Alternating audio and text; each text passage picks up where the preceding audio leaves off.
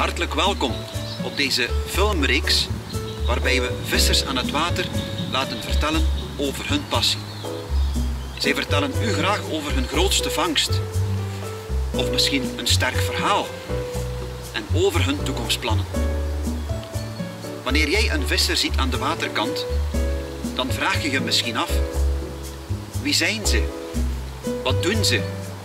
En vooral, wat drijft hen? Met deze reeks van interviews proberen we daar achter te komen.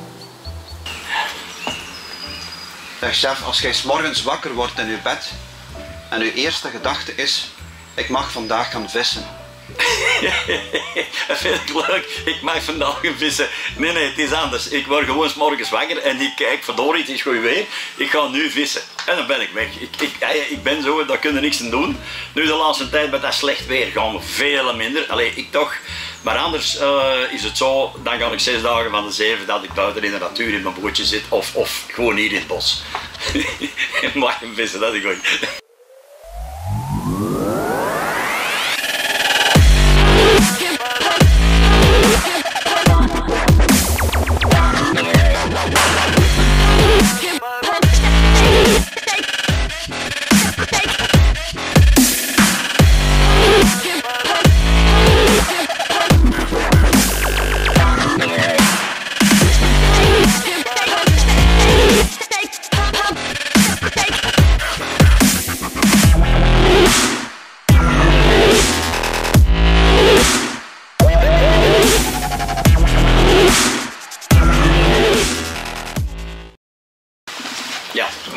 Is Jozef Verstralen. In de volksmond onder het viswereldje noemen ze mij allemaal papi vis. Hè? En eh, vissen is mijn passie gewoon. Ik ben gestart toen dat ik een jaar of vijf, zes was. Ik woonde aan het kanaal in Turnhout aan de Nieuwe Kaai. En dat water intrigeerde mij. Ik zag daar allemaal al mannetjes zitten, wat ik ondertussen zelf bekend geworden ben. En ik zeg, verdorie, dat wil de papi ook gaan doen. En eh, ik in het winkeltje, de hengelaar in de tijd, een klein rieten hengeltje gekocht, van thuis uitgekregen. En zo ben ik dan begonnen op mijn vijf jaar. En dat is dan gewoon doorgegroeid. Vanwaar de passie voor het vissen, chef? Wat, is daar nu zo plezant aan? Ja, wat is er nu zo plezant aan? Als je gebeten bent op die microben, dan zeg je ja, ja, je kunt het niet laten. Althans, ik kan het niet laten. Ik heb hier heel veel jaren gezeten. Ik heb Frankrijk gedaan, ik heb overal gezeten. Toen was ik nog een heel gepassioneerd karpervissen. En toen zei ik dikwijls, nu ga ik niet vissen. Dit weekend blijf ik thuis. Ja? Dan was ik 10 minuten thuis. Dan begon ik rond te draaien. Ik ging buiten, ik eet nog eens buiten. Verdorie, auto inladen en weg. Het, het, het, ik kon gewoon niet thuis blijven. Dat is iets, je wordt er naartoe getrokken. Dat hadden of dat hadden niet. En welke visserij beoefent u op het moment? Op het moment ben ik uh, roofvisser, dus hoofdzakelijk is dat pelagic op snoekbaars en jerken op snoek. Dat doe ik heel graag, niet tegenstaande. Als er vrienden vragen, nu gaan we eens met doodazen, dan ga ik ook mee. Ik doe eigenlijk alles graag. Eh, Allee, vissen is vissen en het gaat er niet over uit voor mij voor het vangen. Heel, heel de beleving, in een boot zitten, met de mensen praten, grappen uithalen, eh, dat hoort erbij. Iets drinken, dat is leuk. Welk vismateriaal gebruikt u het liefste? Ja, het liefste. Eh, ik vis heel veel met beetkasters. Dus niet zoveel met molentjes, maar meestal met beetkasters. Ehm, zoals ik zelf reeds verteld heb, ik heb heel lang voor Berkeley, Abu, Shakespeare gevist. Ja. Eh, 14 jaar, dus dan ga ik ook niet zeggen dat is geen goed materiaal. Dus ik gebruik ook nog altijd steeds het materiaal van mijn vroegere sponsor. Waarom? Omdat ik het gewoon goed en leuk materiaal vind. Ja? En rails is ook een van mijn hobby. Een goede rail op een goede hengel en je kunt alle kanten uit. En eh je vist ook met de boot, chef? Ja, ja. Dus eh, vroeger was het altijd uit de kant peuteren. Ben er toch een beetje gelimiteerd. Hè? Struiken hangen in de weg, takken, uw lijn hangt in die, lijn, in die draad. Vind ik niet leuk. Dus, we hebben me een boot aangeschaft. Kleintje. Toen een groter, toen nog een grotere en nu heb ik een topboot, de Robbie Fish en Papi Fish boot. en eh, ja, daar zijn ik toch wel, mag pakken, drie keer per week gemiddeld mee weg. Ja.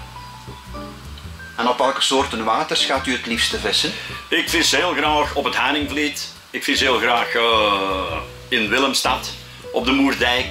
zijn grote waters geven wel een uitdaging. Je weet nooit ook niet waar dat er zit, waar dat er onder aankomt. We zien ze dan wel zwemmen onder water. Onder water. Je hebt ook mensen die zien ze vliegen. Met de papi zien ze altijd zwemmen. en dan zeg ik, kom, uh, vind ik gewoon goed. Groot water uh, verwijkt aan de grote vissen. Ja.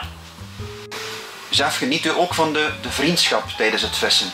Ah, natuurlijk geniet ik van de vriendschap tijdens het vissen. Dat is een van het belangrijkste dat er is. Ja? Soms zeg ik tegen mijn maat, eh, tegen de Henk, Henk kom jongen, gaan vandaag wat vroeger, want anders als ik aan de helling kom, hè, dan springen ze weer op me gelijk als vliegen op de stront. Het is een vies woord, maar zo is het. Dan kom ik eraan en zeggen ze, hé, hey, daar is de papi. Dan moet ik eens in mijn koude kop rusten voor te zeggen, verdorie, wie is dat nu weer? Want de mensen kennen mij wel, maar ik ken ze allemaal niet als ik er even mee praat, dan zeg ik, ah ja, dat is een die, dat is een die. En dat vind ik wel heel leuk. De erkenning die je hebt in die 35 jaar dat je het gedaan hebt, dat vind ik wel top. Als ze dan naar u toe komen en zeggen, hé hey, papi, hoe is het vandaag? Nou, dat vind ik reuze, echt waar. Welke bijzondere vangst is u het meeste bijgeblezen, zeg? Oh, dat bijzondere vangst, even nadenken. Oh ja, ja, ik weet er wel één. Ik heb er wel meerdere gedaan, maar dit is er echt wel één. Ik mocht bij een vriend komen vissen op zijn domein. En uh, ik ging op snoek. Want ik had er al een paar mooie, leuke snoeken gevangen. En in één keer, bam, ik krijg daar eh, echt een aanbeet van je welste op mijn lichte hengel. Ja, en die gaat dan met mij heel die put rond en die laat me die put zien. En op een duur had ik hem. Ik zeg, godverdomme, hier, dat is precies een zoetwatertonijn. Meneer, het was geen zoetwatertonijn. Dat was echt zo'n eh, een marmerkarper. Hè? Met veel rikken en wringen en wegen heb ik die kunnen binnenhalen. En dat was verdorie breder als mijn bootje. Ik stond al te dansen met die vis in mijn armen, precies of, of ik weet niet wat van geluk. De eigenares van het domein die kwam af. Hey, Joseph, Joseph, qu'est-ce qui se passe? Was een Franstalige. Zeg, ik heb hier een vis gevangen, ik weet niet wat het is. was ook mijn eerste dat ik toen gevangen had. Dat was een marmerkarper, ja, 45 kilo. Niet normaal. En dat is iets wat mij altijd bijgebleven is. Zo'n rare vis hier in ons Belgelandje. Ja, was echt, echt top.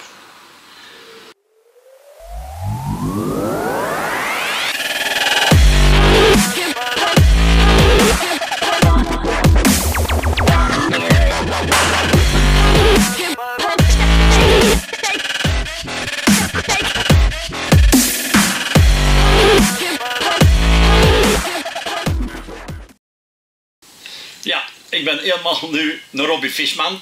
Hè. Heel de week heb ik het aan. Als je me ziet, zelfs in de Aldi, in de Lidl. De papi kennen ze overal, want ik ben heel de dag gekleed in de kleren van Robbie Fish.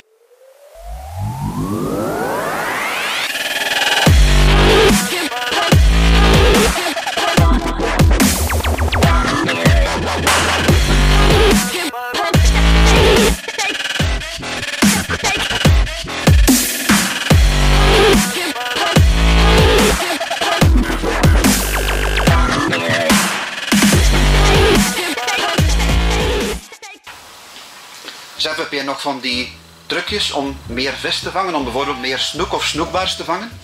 Om meer snoeken te vangen en meer snoekbaars. Ja, nu weet iedereen als visser zijnde, de snoeken gaan paaien, de snoekendames die gaan naar het ondiepe komen. Dus dan is het wel belangrijk dat je dus ook de ondiepe platen gaat opzoeken. Hè? Of we plaatsen waar het wat groen staat, planten. Ga daar tussen vissen zou ik zeggen, of ervoor vissen. Uh, welk aas? Ik zou zeggen, pak jerkbeetjes of chatjes, niet te zwaar. Hè? En dan gaat u dat vast wel lukken om toch een mooie snoek over de streep te krijgen. Is het waar, Jeff, dat vissers nogal eens durven overdrijven over de grootte van hun vangst? Ja, natuurlijk is dat waar. Ik heb het vroeger zelf ook gedaan. Hè? Allemaal dikke, alleen met dikke. Hè? En toen heb ik mijn eigen meetlat aangeschaft in mijn boot. En nu zeg ik, meten is weten. Wat ik erop leg, zie je, en dat wordt niet overgezeverd. Ik heb vroeger ook geweest dat ik zeg, hier, ik heb een snoek van een meter 19,7 dat telt bij mij niet. Dan is het ofwel de meter 19 of de meter 20. Hè?